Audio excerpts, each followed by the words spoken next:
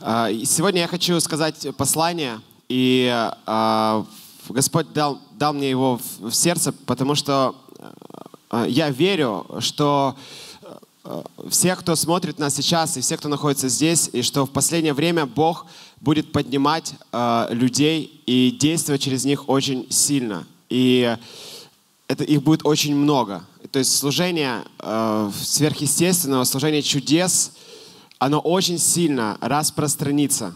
И очень много людей уверуют э, благодаря чудесам и знамениям, которые будут действовать через людей.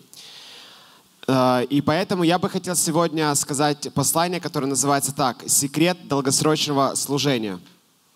Вы знаете, что э, в служении, вообще в долгосрочном, что такое долгосрочное служение? Это когда ты начинаешь и заканчиваешь хорошо. Ну, то есть ты начинаешь хорошо, ты идешь, и потом в конце ты, как сказал апостол Павел, веру сохранил, там, волю Божью исполнил и отправился домой. Это долгосрочное служение. Это когда ты в конце остаешься победителем. Или когда ты можешь исполнить все.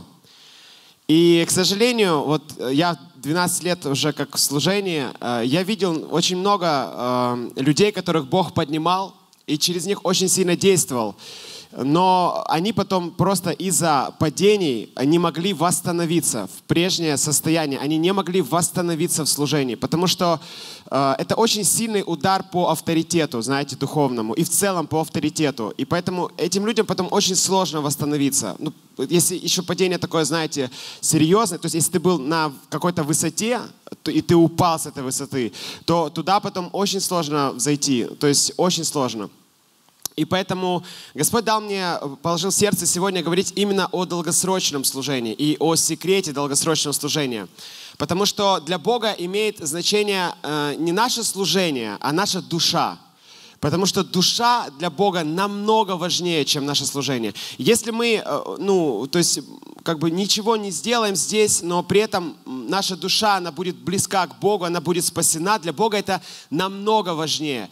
А, вы помните, в Евангелии от Луки есть такое место, когда Иисус отправил 70 учеников, и Он дал им власть исцелять, освобождать. И потом они вернулись, я хочу это прочитать, и 70 а, учеников возвратились к Иисусу радостные, ну, счастливые, знаете, вот у них служение пошло. И они говорят, Господи, даже демоны подчиняются нам, когда мы приказываем им Твоим именем. Вот они говорят, даже демоны, представляете, вот как вот Бог через них, они такие были радостные. А вот Иисус им говорит, вот я дал вам власть наступать без вреда для вас на змеи и скорпионов и преодолевать всю силу врага, всю силу врага. Но радуйтесь не этому. Радуйтесь не тому, что духи вам подчиняются, а тому, что ваши имена записаны на небесах. Для Иисуса душа намного важнее нашего служения, намного важнее нашего успеха. И Он говорит, не этому радуйтесь, это нормально. То есть для христиан это нормально но радуйтесь тому, что ваши имена записаны в книге жизни. И для тех людей, у которых нет причин радости, для радости я хочу сказать, что причина есть. Наши имена записаны в книге жизни. Просто нам сегодня кажется, что нет причин для радости, потому что у нас там кредиты, что-то там не ладится, неважно. Там болезнь, неважно. И нам кажется, нет причин для радости. Но если абстрагироваться от этого и посмотреть в перспективу нашей жизни, то все, когда это закончится, представьте, мы придем на небо, вдохнем этот воздух и вечно будем счастливы. Вау! Представьте, вечно ты наслаждаешься Господом, Его присутствием, купаешься в водичке в христианской, ну, в доброй, ну, как, в общем, вы, мы все радуемся там, потому что там, там наши имена записано в книге. И это прекрасно. Это стоит больше всего. Поэтому э, апостол писал, что э, наши испытания, трудности, они краткосрочны. То есть по сравнению с вечностью. Все скоро закончится. Но не об этом. Uh, ну, это, это причина для нашей радости. Это то, что наши имена записаны в книге жизни. Подумайте об этом, кто грустит. Но мы говорим о долгосрочном э, служении. Так вот, Иисус говорит, что не, не является, мы не должны радоваться именно только этому, что это хорошо. Мы, конечно, мы очень рады за людей, которые исцеляются, которые освобождаются, через которых Бог поднимает. Это очень здорово, что Бог, Его сила действует. Но если мы смещаем свой фокус с нашей души, а конкретно с отношений с Богом на служение, то мы можем просто идти и, и впоследствии выгореть и где-то сломаться и упасть. И поэтому Иисус, несмотря на всю загруженность, находил время, чтобы быть э, в синхронизации с Богом, чтобы Он был в единстве с Ним, через отношения с Ним. Потому что душа важнее служения. Скажите, душа важнее служения. Есть одна вещь, э, которую Иисус сказал по поводу того, что нужно делать, чтобы наше служение было долгосрочным и чтобы мы э, впоследствии не проиграли. Э, в Матфея 7 главе, после Нагорной проповеди, в конце он сказал следующие слова. В 24 стихе, «Того, кто слушает мои слова и исполняет их, можно сравнить с мудрым человеком, построившим свой дом на камне». Пошел дождь, разлились реки, подули ветры и обрушились на этот дом, но он устоял, потому что был построен на камне. А всякого, кто слушает мои слова, но не исполняет их, можно сравнить с глупцом, построившим свой дом на песке. Пошел дождь, разлились реки, подули ветры и обрушились на этот дом, и он рухнул. Теперь очень важно. И падение его было великим. Здесь говорится о двух типах людей. Люди, которые строили на камне, и люди, которые строили на песке. Они оба строили, то есть они воздвигали свой дом. Ну, неважно, что это, служение, свою жизнь. Они воздвигали на разных основаниях. И потом пошел дождь подули ветры. Ну, мы понимаем, что это аллегория, которая, э, которая может отнести к испытаниям, к трудностям жизни, к дню злому, неважно. То есть подули ветры, пошел дождь. И вот сказано, что когда ты воздвиг свой дом, а, он очень высоко, и потом он упал, и его падение было великим. И, к сожалению, мы видели такие падения. Вот, по крайней мере, я думаю, что те, кто здесь находится, вы можете вспомнить хотя бы один случай, когда дом великих, он падал, и падение его было таким великим, что воздвигнуть заново было сложно. Но есть еще другой тип людей. Это тип людей, которые не могут достроить свой дом, знаете. То есть они строят и каждый раз строят на песке, и каждый раз дуют ветры, э, и он э, ну, всегда падает. Это напоминает мне историю, когда я был маленький, мы играли с моими друзьями в песочнице, и я пытался строить дом, а они каждый раз его рушили. И я каждый раз его снова строил. Они подбегали и снова его рушили. И меня это так злило, что в итоге я вообще оставил эту идею, забросил ее. Но, но вот так похоже, знаете, с некоторыми верующими людьми. Они строят дом, но из-за того, что а, они строят не на том основании, приходят трудности, и их дом сносит. И они опять встают и начинают опять что-то делать, и опять все происходит. Поэтому Иисус сказал, что очень важно строить дом на камне. Что такое камень? Камень – это основание, о котором говорил Иисус. Как строить на камне? Здесь есть две вещи. Вещь номер один – он сказал, что те, кто слушает мои слова, и те, и те люди слушали слова, которые говорил Иисус. То, что написано в Слове Божьем. Когда мы слушаем, мы должны, нам очень, чтобы построить дом на основании хорошем, первое, это важно знать, что Бог говорит нашу жизнь. Очень важно знать Писание, изучать Писание. И очень важно иметь близость с Богом, чтобы слышать Его голос в нашу жизнь. И вторая вещь – это исполнять то, что он говорит. Проблема как раз второго типа людей, который строил на песке, заключается в том, что он знает всю теологию о Боге. Он знает э, все учения, вот, может проповедовать очень много обо всем но не исполняет э, то что, то, что написано в Слове Божьем. Именно поэтому его основание плохое, потому что когда приходит день злой, то люди, которые исполняют Слово Божье, которые тверды в принципах, они остаются, они непоколебимы. Но люди, которые просто относятся к этому с легкостью, они позволяют себе э, ну, как бы какие-то компромиссы, результатом этого становится падение. Поэтому две вещи. Для того, чтобы построить дом на хорошем основании, важно знать Слово Божье. И второе, важно исполнять то, что говорит Слово Божье в нашу жизнь. Постоянно воспроизводить в себе привычки, которые описаны в Слове Божьем. Постоянно вникать в Слово Божье, вникать в то, что там говорится, и исполнять это. Делать это с частью своей жизни, частью своего характера. Потому что это сохранит нас. Когда наш характер построен, когда мы выстроили свой характер, основываясь на Слово Божье, тогда трудности, которые приходят в нашу жизнь, мы можем легко их побеждать, потому что у нас есть э, твердое основание, и это основание Слова Божье, на котором мы строим свой дом. Но теперь есть еще кое-что очень важное. Э, когда мы строим свой дом, то э, я считаю, что одна из самых важных вещей для нас, как для людей Божьих, которые крещены Святым Духом, является способность ходить в Святом Духе.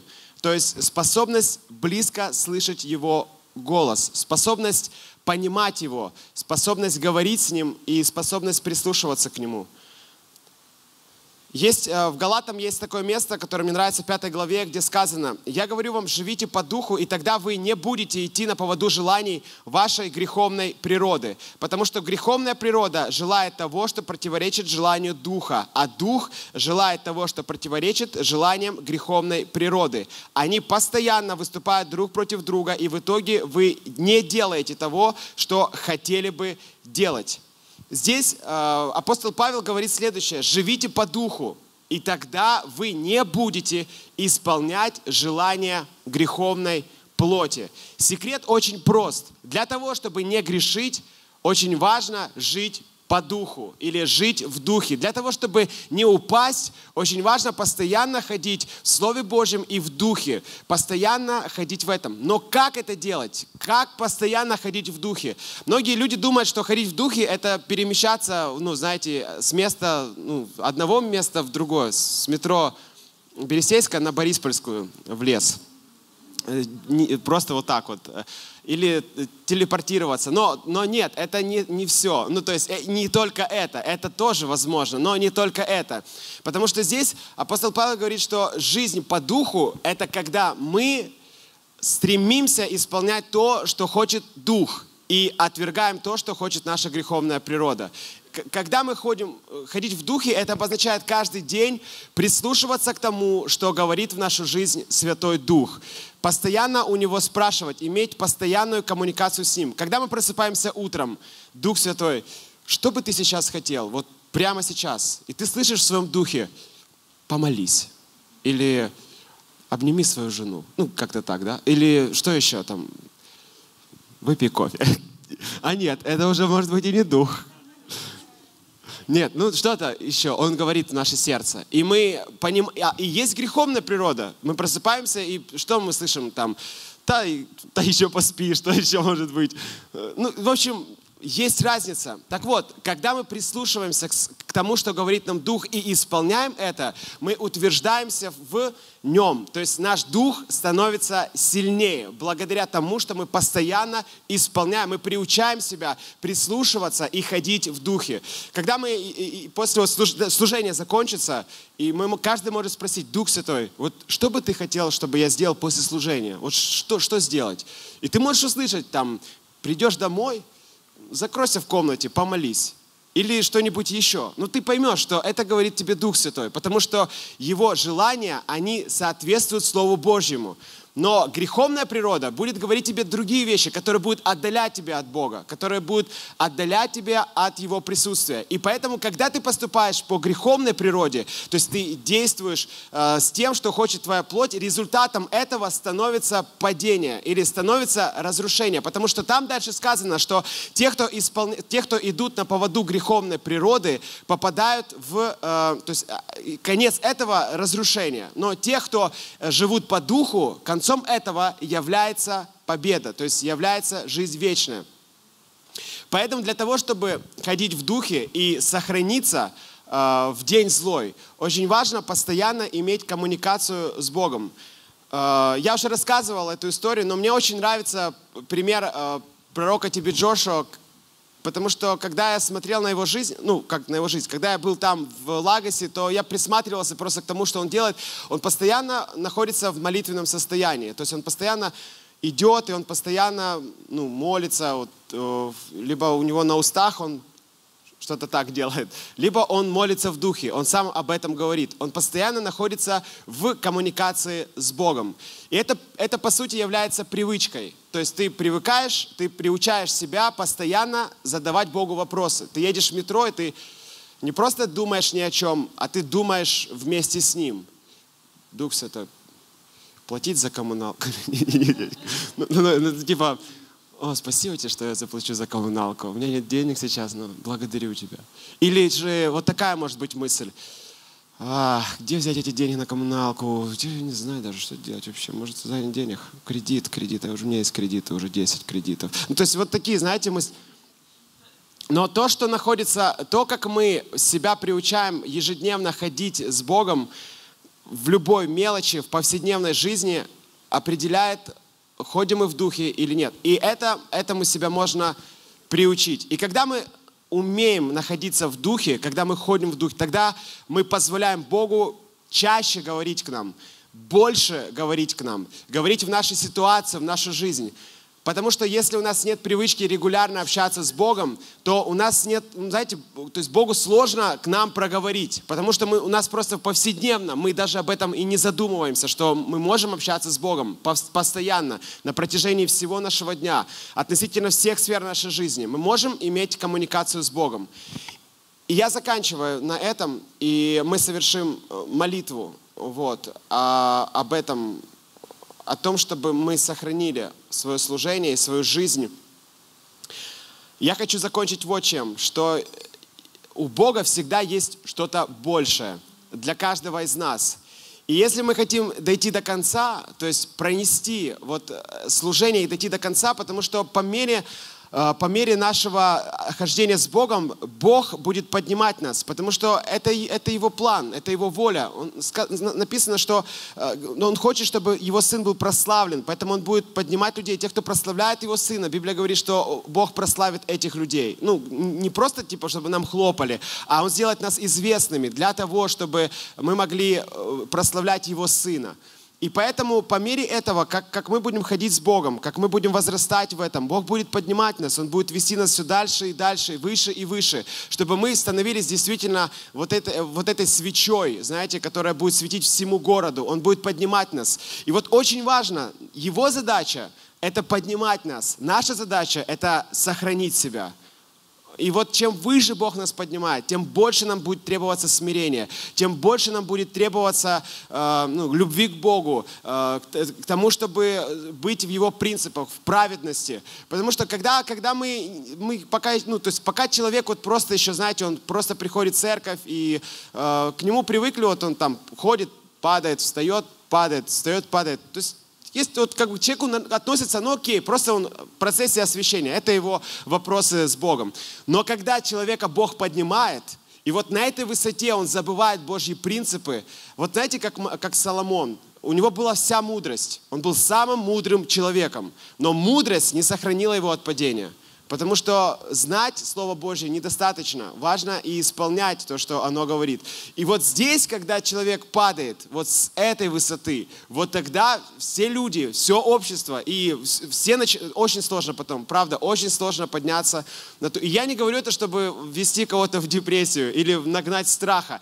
Я говорю это вот что, к чему. К тому, что для Иисуса важнее всего наша душа. Именно поэтому апостол Павел сказал Тимофею, что вникай вникай в себя и в учение. Постоянно анализируй себя, постоянно смотри за, свои, за, за, за тем, как ты идешь, как ты служишь, как ты живешь, чтобы э, те, кто слушал тебя, были спасены, и ты был спасен. И это имеет значение. Бог будет действовать через нас, однозначно. Он хочет это делать, Он будет это делать. Но пусть это слово будет как напустим для каждого из нас на всю нашу жизнь, что очень важно постоянно э, смотреть за своим основанием и э, сохраняться, ну то есть сохраняться в отношениях с Богом. Аминь. Я хочу помолиться. Отец, я молюсь сейчас за каждого из нас, за себя, за всех, кто смотрит нас, за всех, кто здесь находится. Мы молимся все вместе. И мы просим Тебя, э, сохрани нас от всякого зла и помоги нам строить на правильном основании свою жизнь, свое служение, э, все, что у нас есть. Помоги нам строить на правильном основании, на Твоем Слове. И помоги нам ежедневно ходить в духе, прислушиваться к тому, что говорит Твой Дух в нашу жизнь, учиться этому и ходить в этом, и находиться в этом, Господь. Мы просим Тебя во имя Иисуса Христа. И мы благодарим Тебя, что Ты всегда с нами, Ты защитишь нас от всякого зла, поможешь нам, э, потому что у Тебя для всех нас есть большие планы. Вот у Тебя есть служение для нас. Ты через нас так много уже сделал, и людей исцелилось, и освободилось много людей, и спаслось много людей. Но помоги нам всегда помнить, что для Тебя важно, чтобы наша душа, она всегда, она была спасена, и чтобы мы были вместе. И поэтому я молюсь обо всех людях, которые сегодня оставили свои тайные комнаты.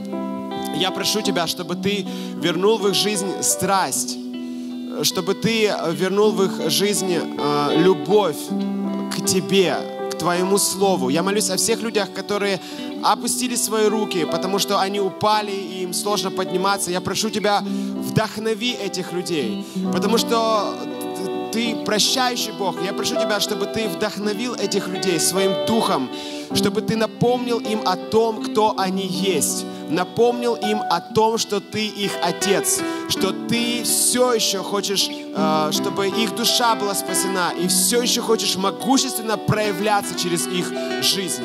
Я молюсь о том, чтобы всякая ложь дьявола была разрушена во имя Иисуса Христа в сердцах и умах моих братьев и сестер. Прямо сейчас ложь относительно будущего, ложь относительно близости с тобой, относительно твоего отношения к ним. Я молюсь о том, чтобы всякая ложь была разрушена во имя Иисуса Христа.